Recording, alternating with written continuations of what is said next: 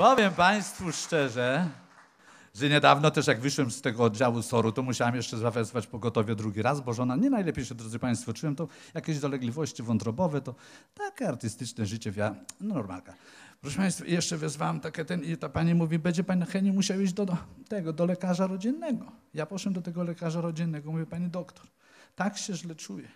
No to badanie krwi zleciła, wszystkie badania porobiłem. Ona mówi, Panie Heniu, jeszcze będziemy musieli zrobić zdjęcie rentgenowskie. Ja mówię, Boże, Pani doktor, ale dlaczego? Czy Pani coś podejrzewa, tego coś złego? Nie, Panie Heniu, chwileczkę, spokojnie. To jest normalne badanie okresowe. Pójdzie Pan, zrobi Pan zdjęcie, strzeli Pan, nie ma żadnego problemu. Poszłem, zrobiłem te zdjęcie. Trzy dni nie mogłem, kurde, spać, ani jeść, ani pić. Nerwy takie cholerne się w człowieku odezwały. Ja mówię, co ten doktor mi pod tym zdjęciem może napisać? Poszłem po trzech dniach do doktora. Normalnie jak zobaczyłem to kopertę z tym zdjęciem, jak włożyłem to łapę w to kopertę, jak wyciągnąłem to zdjęcie. Wiecie, co było napisane pod tym zdjęciem? Jak na ten wiek mogą być, prawda? Ludź. Radocha niesłyszana. Powiem Państwu szczerze, że też lubię w Starogardzie mój przepiękny park. Ja tam chodzę, odpoczywam, siadam sobie na moją ulubioną ławeczkę, drodzy Państwo, i patrzę na tę przepięknie płynącą rzekę Wieżycę. I powiem Państwu szczerze, że któregoś pięknego dnia siedzę sobie na tej ławeczce i takie starsze małżeństwo przechadza się po tym parku. Oni się trzymają za rączkę, 60 parę lat. On ją za paluszek trzyma, ona jego za paluszek. I tak sobie idą. Walniutko. Znaczy, usiedli się na tą ławeczkę i tak sobie w oczy patrzą i szepczą do siebie. Ja mówię, jakież to przyjemne, jakiś to piękny widok. Od razu patrzcie, z naprzeciwko poczty idzie dwóch meneli. Ja mówię, żeby tylko tych dobrych ludzi nie zaczepili. No jak nie? Normalnie idą tych dwóch meneli, tak wczorajszych, właśnie ten jeden się odwrócił do tych państwa starszych i mówi, Ja bardzo serdecznie i gorąco Państwa przepraszam.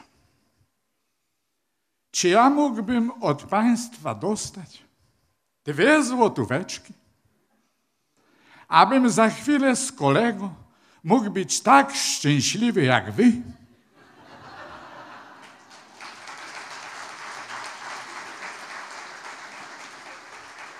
I usiąść na ławeczce obok i skonsumować to, co z kolegą najlepiej lubił. A ten facet tak na niego patrzy i mówi, Nyschwerstein. A ten drugi menel, a, to 2 euro. No lo... Siedzę sobie w tym parku, bo to moje ulubione miejsce, proszę Państwa, któregoś innego dnia i takich dwóch starszych panów się do mnie dosiada i zaczynają gaworzyć o polityce. Oj Jezus, ja mówię, ale się będzie działo. Ten jeden starszy pan do drugiego mówi, słuchaj Józik, co? Słuchaj Józik, powiedz mi, co ty sądzisz o dzisiejszej władzy? A my, co ty mnie tam takie pytania zadajesz, co sądzę o władzy tam? No ale no, no, masz jakieś zdanie, czy nie masz? No mam. No to co sądzisz o dzisiejszej władzy? No. A mój, słuchaj, ja ci takim starym przedwojennym dowcipem odpowiem. Chcesz? No to mów. Słuchaj, no słucham. Słuchaj, no słucham. Przed wojną w Moskwie na Placu Czerwonym, rozumiesz? Rozumiem, no. Chodził taki starszy człowiek w kufajce, w takiej czapce futrzanej, rozumiesz, tak się ogląda i patrzy na te wszystkie budowle w tej Moskwie. A cię tak chodzi, patrzy i w końcu zatrzyma jakiegoś przechodnia. Mówi, proszę pana, co to jest? A mówi, no pan raczy żartować. Przecież to jest Kreml. A, to jest Kreml, powiada Pan. Proszę Pana, a niech mi Pan powie, dlaczego on ma taki wysoki mur, jest tak wysokim murem ogrodzony. No proszę Pana, Pan raczy żartować. No bo tam pracuje nasza kochana władza. A, to ja rozumiem. I chodzi Wam o to, żeby te łobuzy na miasto nie uciekały, prawda? No, ja bym się chętnie na taki mur też złożył, drodzy Państwo. Muszę Państwu powiedzieć, że niedługo wybory samorządowe. Ja myślę, że Państwo już jeszcze podjęli decyzję, bo to bardzo ważna decyzja. Przede wszystkim Państwa proszę, żebyście poszli na te wybory, oddali no, no, no, no, no, dobry głos, ale przede wszystkim, żeby był ważny ten głos, proszę Państwa. Ja pamiętam, jak tych dwóch panów się dalej sprzeczało. Mówię, słuchaj, ty wiesz, że Juzik, znasz Juzika Ronowskiego, tak? Znasz? Znam. No, no to, to ja ci powiem, że on trzy kadencje, trzy kadencje był radnym. No wiem. No i teraz rozumiesz, nie będzie kandydował. A dlaczego? A widzisz, bo poszedł do swojego przewodniczącego partii, a ten przewodniczący partii powiedział, że teraz jest tyle chętnych i okręgi są jednomandatowe i wszystkie radne będą musieli zdawać egzamin z wiedzy. A on się oburzył, mówi, co? Do cholery jasny, co? Mówi, panie przewodniczący, panie prezesie, ja trzy, trzy kadencje byłem radnym. Nie miałem żadnej wiedzy. A teraz egzaminy chcę dorobić, bracie. Tego. No. Się tak zdenerwował chłop, wyszedł, trzasnął drzwiami, za chwilę wrócił. Mówi, panie przewodniczący, ja panu powiem więcej, ja się, ja się, wy, ja się wypisuję z tej partii, proszę pana. Powiem panu więcej, że ostatnie sesje u nas w Radzie Miasta to tak wyglądały, jakby kepscy z graczykami z 13 posterunku wychodzili, panie. No. Tak. Tak to było. I jeszcze wam ludzie, kochani, powiem, no, nie ma co ukrywać, kandyduję w tym roku też, państwo żeście zauważyli. A ja... A. I musiałem zrobić sobie zdjęcie, fotkę, rozumiecie? Kurde, balans. Chodziłem po tych fotografach, tu, tam, owak tego. Żona mówi, jak ty wyglądasz? Mówi, tu jak Chorwity, tu jakbyś z więzienia wyszedł. Siedziałem sobie przed komputerem, nagle dzwonek do drzwi. Otwieram, patrzę, listonosz. Przesyłka pocztowa, polecona. Odebrałem, otwieram. Kurtkę, balans, zdjęcie. Fotoradar mnie pierdyknął. Ale jaka fotka na luzie! Henio, ta muńka roześmiana, rączki na kierownicy, ja pierdyle. No fakt, że drogę po 400 złotych. I do tego 8 punktów karnych. No ale wiecie, kochani, to jest artystyczne zdjęcie. No i żona mówi, Henio, ty uważaj, bracie, bo wiesz, nasz budżet rodziny nie wytrzyma, jak ty zaczniesz kolekcjonować te zdjęcia. No i syn mnie doradził, żeby sobie radio kupić. Kupiłem sobie radio, zainstalowałem, zapłaciłem odpowiednio i niedawno leciałem na koncercik do Bydgoszczy, włączyłem to sobie radio, muzyczka gra i słyszę, koledzy, jak tam ścieżka do Bydgoszczy? Czyściutko, kolego, czyściutko. I tak sobie jadę, fajne.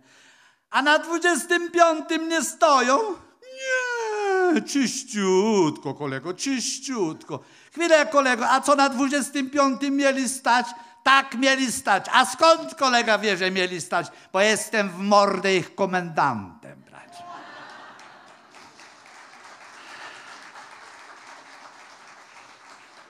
Proszę Państwa, proszę Państwa, teraz chciałbym coś Państwu zaśpiewać, ale nie wiem, czy Państwo za, zaryzykujecie, wysłuchacie mojej piosenki. O, tak. Powiem Państwu szczerze, no, są chętni, którzy chcą poklepać, drudzy nie chcą, dobra. E, powiem Państwu szczerze, że ta piosenka e, jest o moim dworcu kochanym w Starogardzie. Mm, co to za dworzec? A. Był, tak jest. Ja z moim wnukiem poszłem na ten dworzec, bo chciałem mu pokazać, jak pociąg wygląda. A tam taki starszy człowiek siedzi na tym dworcu z kluczem takim. Ja mówię, proszę pana, co pan tu robi? A widzi pan, ja tu siedzę. 54 lata robiłem na kolei i teraz jeszcze mnie dwa miesiące brakuje do 67. On był nastawniczym. Ja mówię, panie, a kiedy tu pociąg jaki pojedzie? Bo chciałem wnukowi pojechać. Dziś już, panie, nie. Może w niedzielę, jak wytrzeźwieje ten, no, maszynista, panie. Ludzie, takie czasy, a kiedyś pociągów w tym w Starogardzie było w brud. Dlatego postanowiłem zaśpiewać Państwu piosenkę o moim kochanym dworcu w Starogardzie. Może się w końcu znajdą fundusze, może coś drgnie i zostanie wyremontowany ten piękny dworzec. Ja mam pomysła. Maestro, please.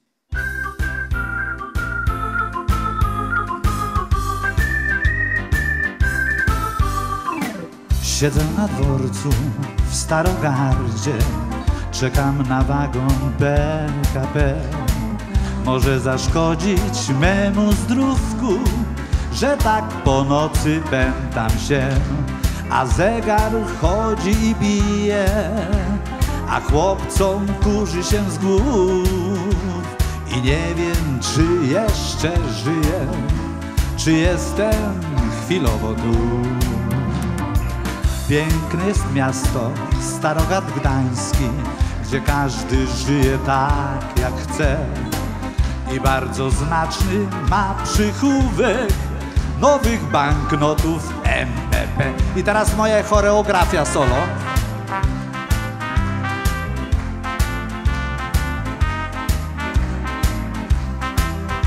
Sam układałem do swojego wieku, żeby się nie zmęczyć. Tak.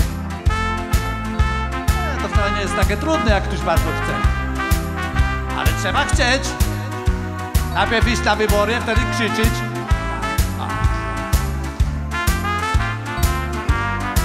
O. Rureczkę jeszcze raz zrobię, ale to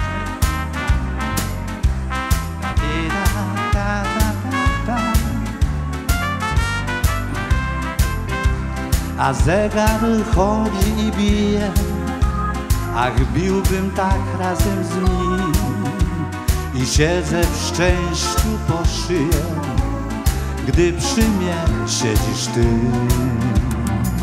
Piękne jest miasto, Starogard Gdański, gdzie każdy żyje tak jak chce. I tylko słychać już przysnówek nowych banknotów MBP, nowych banknotów MBP, nowych banknotów MBP.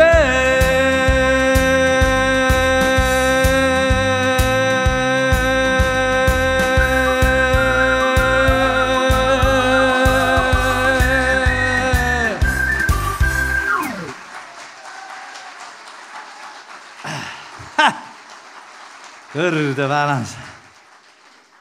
Starość nie radość, ale jak się postara człowiek, to może jeszcze wiele rzeczy zrobić.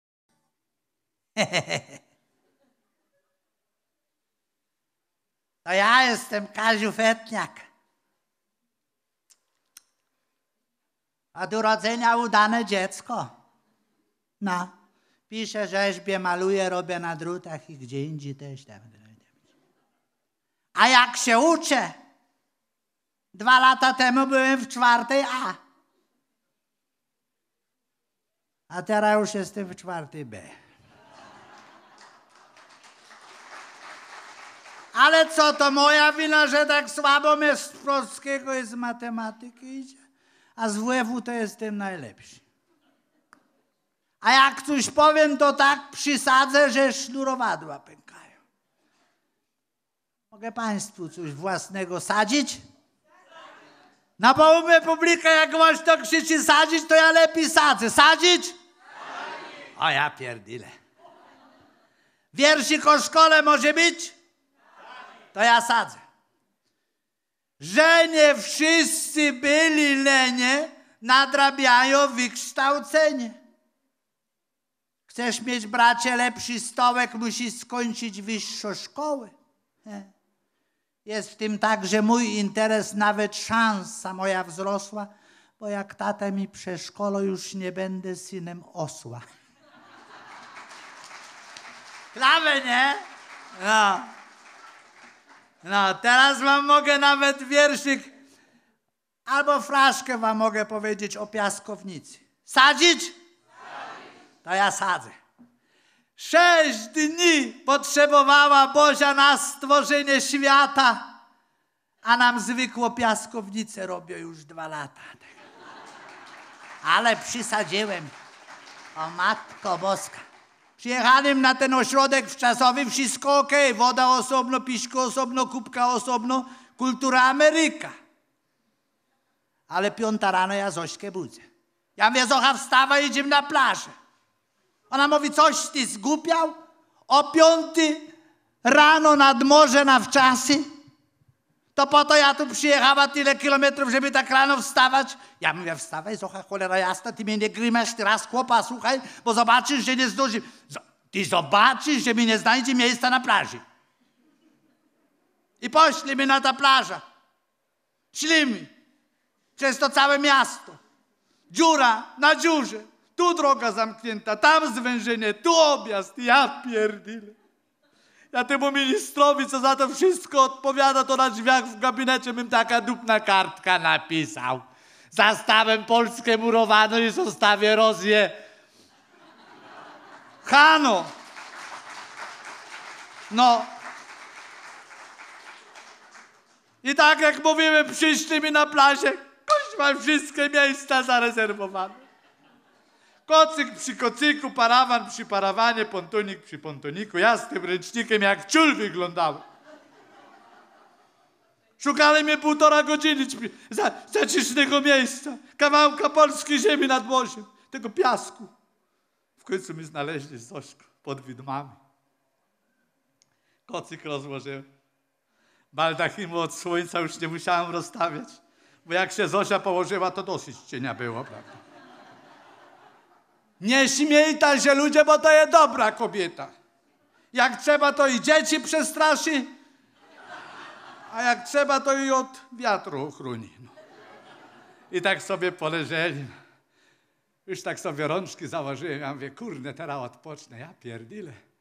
Nareszcie jaki luzik. Tak patrzę w te polskie niebo, oczy przymknęły. Nagle słyszę.